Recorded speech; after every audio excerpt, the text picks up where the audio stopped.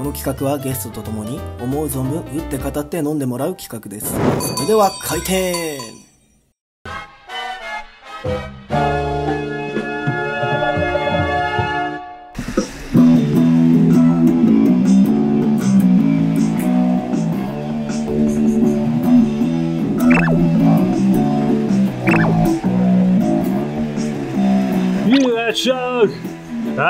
で空が落ちてくる。You are child 俺の胸に落ちてくる。熱い心鎖で繋いでも今は無駄だよ。邪魔するやつは指先一つで。ダンサー。俺との愛を守るため。お前は旅立ち明日を見失った。微笑み忘れた顔など見たくはないさ。愛を取り戻せ。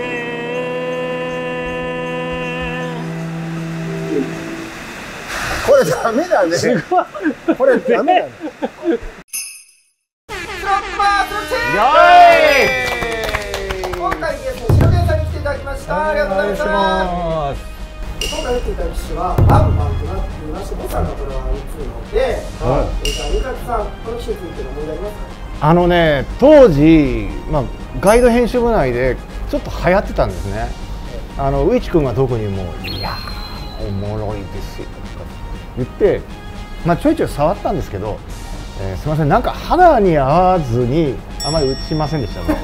はい。そんなはまらなかったですね。はい。以上でございます。ありがとうございます。黒木さんもクソほど打ちましたね、ね。うん、特にこの台であのしっかりあのオパオパ絵柄をしっかり取りこぼさないように打って、えーと、終日って7枚交換だから 6, 6枚交換だったっけな？設定1のビッグレギュラー確率ほぼ全く同じ数値でプラスになったんですよ、うん、それでやっぱ雨はって痛感してもアホほど打ったのと、バンバンの告知ランプの中の電球の色で設定示唆する店があってこうやってやると見えちゃう。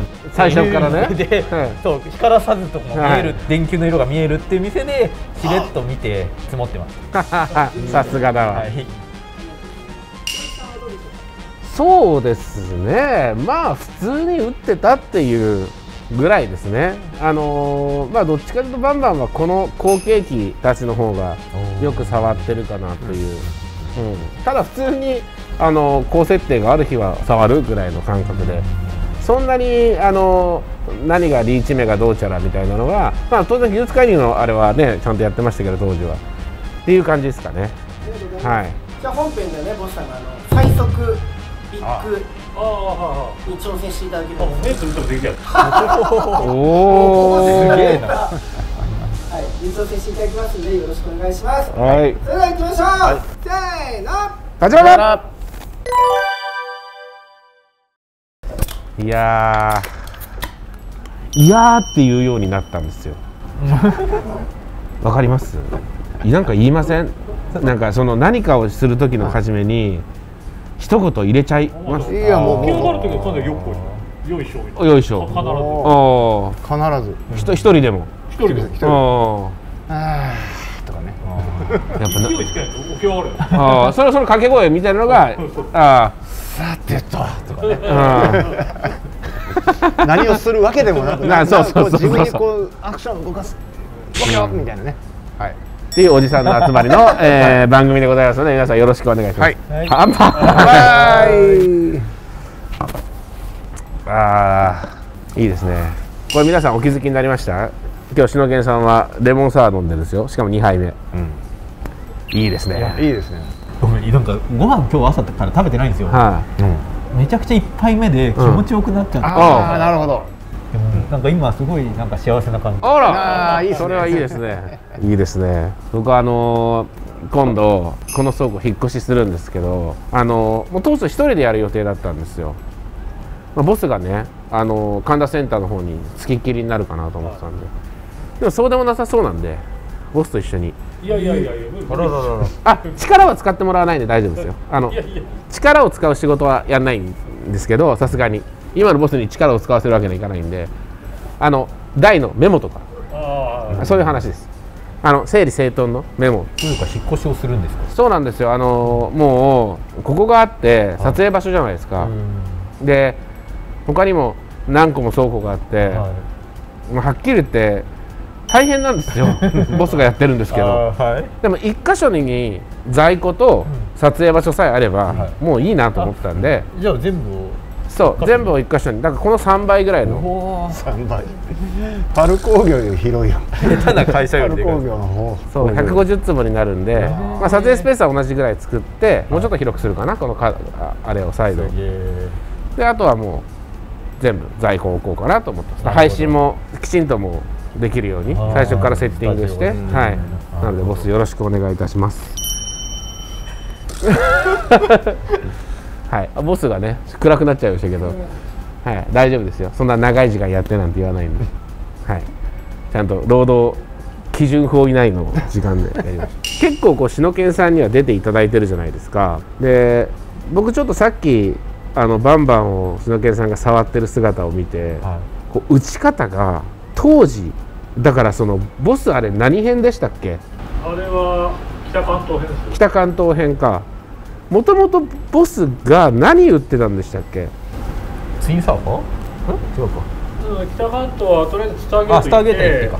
でまあ隠し撮りでやってで、はい。まあ拉致られて。メインで打てないから、はい。他の人でこう下見してでツインサーバー咲いていってで最初からバンバン行ってて、2人で最終的にはバンバンいやでも途中でバンバン出なくなってやめてパチンコであーそう。そうでパチンコでガンガン出したからですげえ出てたんですよね。あでしで最初だからブツブツ言いながらバンバン打ってて なんだよとかって言って初打ちだったんですよね確かあの時。ほぼほぼ。あそうだそうですよね。すげえな。それだけ見通しできるんだ。そうそれでねやっててでなんかつまんなくつまんなそうに移動してでパチンコがすげえ出てるから篠研さんが「なんだボス」っていう そうですね。イメージ。はい。もう適当に打ってんのに俺より勝ってんのみたいな。毎回旅打ち行くたび思うんですよ。こっちはなんかいろいろとデータ精査して、はい。これだってこの店のね少ない中でこはいれだってやってんだけど、坊さんも適当に適当かわかんないですけど裏物打っていつも出すみたいな。そうですよね。やっぱここの違いみたいなのはあの 感じました、感じました、はい。でもその代わり今バケしか弾けなくなっちゃってますけどやっぱ人生1年じ一生って考えると収束するんだなっ思ってます。今ひどい。はい。だって何をなんかち一時期ねあの技術介入機を打ちに行ってたんですよ。マッピーとか、はいはい。なんかしばらく打ちに行ってたんですけどもう気づいたらホールなんか行ってないですからね全く。100%超えるって台だけ打ち続けて、はい。ずーっと負け続けるという、あーバケしか弾けないんでそうですね。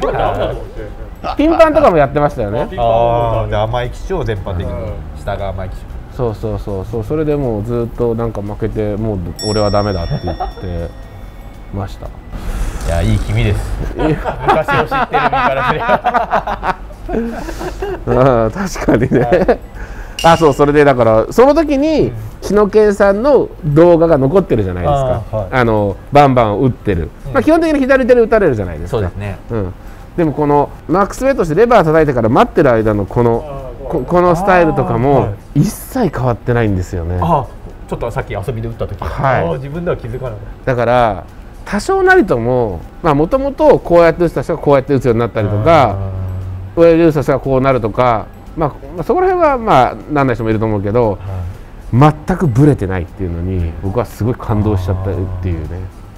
ボスはだってもともとねこの前僕秋田行った時に聞いたんですけどボス右利きじゃないですか、うんまあまあ、うん。本来は、でもビタをしてる時急に左手を出すわけですよ。まあ、どっちでもできるようになるそう。こうグーグーグーグーみたいな。あのこのこすんごい。こその日調子いい方でやる。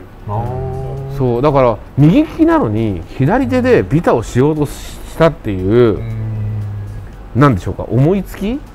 でなんでそうなったんですかって聞いたらカンフーレーティがどうしてもタイミングが合わなくて、うん。あれって感覚的に遅く回ってる感覚早く押してたのをじゃあそれを左手でやるようになったらちゃんとできるようになったからじゃあカンフーレーティみたいにちょっと狭さのちょっと遅く感じるやつは左手でっていう。あそれで左手もできるようになった。そそういうことも駆使してやってたやってる人もいるし全くスタイルが変わってない人もいるんだなと思ってか感動感動しましたけど。そんなこと思ってたんですかそうそうそうそう。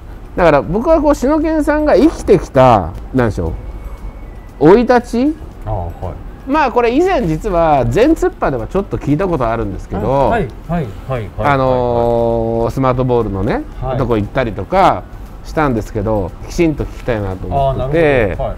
まず生まれはど生まれお見合いじゃねえけど、生まれはどちらなんですか？まあ足立区の下町ですよね。下町ですよね、はい、しょうもない貧乏な家庭に生まれまして、しょうもない貧乏の家庭って言ってるけど、でも、えー、とおじいちゃんが、はい、スマートボールの業者の方だったんです。よえー、と社長ではない。あ全然違います。社員。はい。あさらにこれ言うと実際はおじいちゃんじゃなかったんですよ。ーえ？またこれも。ほうほうほうほうほう。うちの母親のもともとの夫婦がおお父さんが死んじゃって、はい。その後に一緒に住んでた男性だった。ああなるほど。実は実はね。だけどそのおばあちゃんというかお年玉もらいに行く時にまあおおじいちゃんおばあちゃんのとこ行くじゃないですか。はい。でその時におじいちゃんおばあちゃんとしてしょうああそうな言われてたのが、そこにいた男性と実際の本当のおばあちゃんなんです。うんああなるほどなるほど。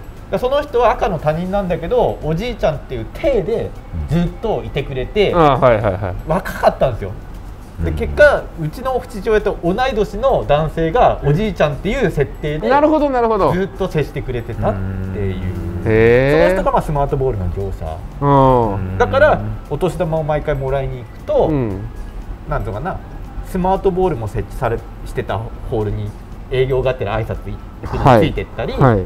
おじいちゃん家の近くのパチンコ屋に一緒に打ちに行ったりとかっていうのを幼稚園の頃からしていたっていう。なるほどですね。だからパチンコ屋さんに関してそのなんていうの恐怖心とか、うん。こう得体の知らない場所とかっていうのは全くなくて、はいはいはい。むしろ親しみがあるね場所だったっていうのが、まあ自分がこういうとこに行きやすいきっかけだったのかなと思います。なるほどですね、はい他なんかその小学校時代パチンコに関係ないなんか面白いこんな人生だったよみたいなないですか？小学校普通に、まあ、普通に行ったけどファミコンにはまってファミコンの大会とかよく出てましたよ。その高橋名人とか、えあれする？全国キャラバンファミコン大会とか。やっぱその自信があったんでその好きなものに対して、うんはいはい。ほその戦いたいみたいなのはありましたけどやっぱうんは昔からあれなんですね。でそのなんだろう。一個のものに好きに自分が興味を持ったものに、はい。はい。こうのめり込むタイプだったっていう。い、そうですね。あの面白かったとりあえずゲームハマファミコンにはまってそういうの行ったり、それからラジコンにはまってラジコンの大会も出たりして、うんうん。でその後に今度はバイクにはまってやっぱそのいわゆる珍相談っていうかその、はい。暴走族じゃなくて、外から見たら一緒なんですけど、はい。走り屋っていうなんか行動でレースまがいのことをするのにはまっちゃった。はい。結果、レースもやるよ。そいわゆるちゃんとしたサーキット上でレース。あそうなんですか？やるようにはなりました、はい、筑波サーキットとか他のちえすごい。っちゃいミニバイクのレースとかは行ってましたそれ何歳ぐらいの時なんですか？それはもうそれこそあのライターになってからもちょっとやってましたよ。ええ市の県としてデビューしてからは18、まあ、17ぐらい高校生から21、2ぐらいまでは走り屋兼レースもやってててみたいな感じでやって。だから稼ぎは全部地下カジノにはまるまでは、うん。バイクにはま使ってました。地下カジノにはまったんですか、なるほどね。えじゃあボス知ってたんですか？いやレースは知らないああバイクが好きなっていうのは知ってた。走り屋乗ってるのは知ってますうん。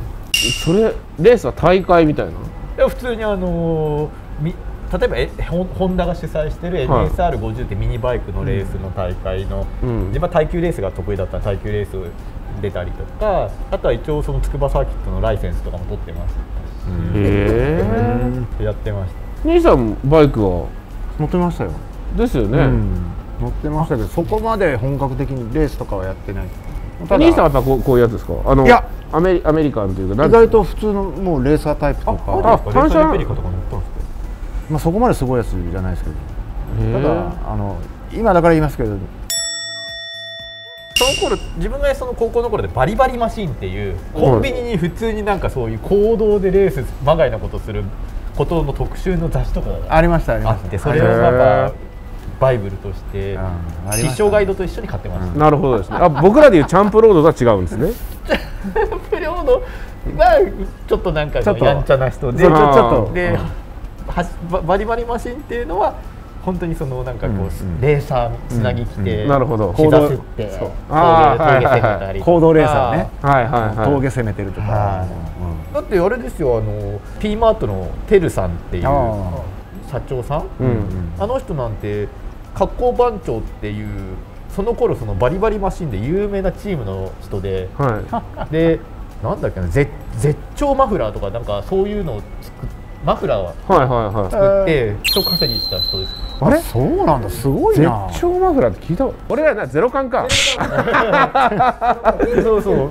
そその人が今こっちの業界でもねそうやって活躍有名になってらっしゃるとか結構なんか、パチスロ好きな人では走り屋やった人とかまあは多かったかなとへ思います、えはい、ボスバイクは？うちはバイクは禁止です。あ禁止だった家ですね。うん。なんかその危ないそんだけ行動で攻めてあそれはやっぱり死にかけて峠でやっぱ崖から落ちたこともありますし崖から落ちる？から落ちる。崖から落ちると死にかけてる死んでますよ普通。いや普通に下りを膝すって攻めるんで、はい。やっぱスルンってこけたりしたらしかも枯れ葉とかも踏んじゃうと、はい。つるんと。スルンって言ってあのガードレールの隙間のとこからあバイクとしてボーンって落ちてガードレールの下行くんですか？高校2年の時にもう本当顔面ブガーって下顎のあたり腫れて、はい3か月ぐらいもう顔見せれないぐらいひどかったんで、一発敗者でやりましたよ。崖ですよ。よ相当落ちるんだいやもう30メートルぐらい落ちたんじゃないですかね。